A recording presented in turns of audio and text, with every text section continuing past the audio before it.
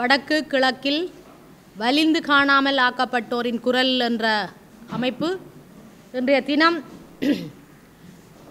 இந்த மனித உரிமை தொடர்பான பொறுப்பு கூறலை இலங்கை அரசாங்கம் மேற்கொள்ள வேண்டும் என்பதையும் ச- அமெரிக்கா பிரித்தானியா இந்தியா போன்ற நாடுகள் இந்த அர- அரசாங்கத்திற்கான ஒரு அழுத்தத்தை கொடுக்க வேண்டும் என்ற நோக்கிலும் ஒரு போராட்டத்தை முன்னெடுத்திருக்கின்றது. அந்த வகையில்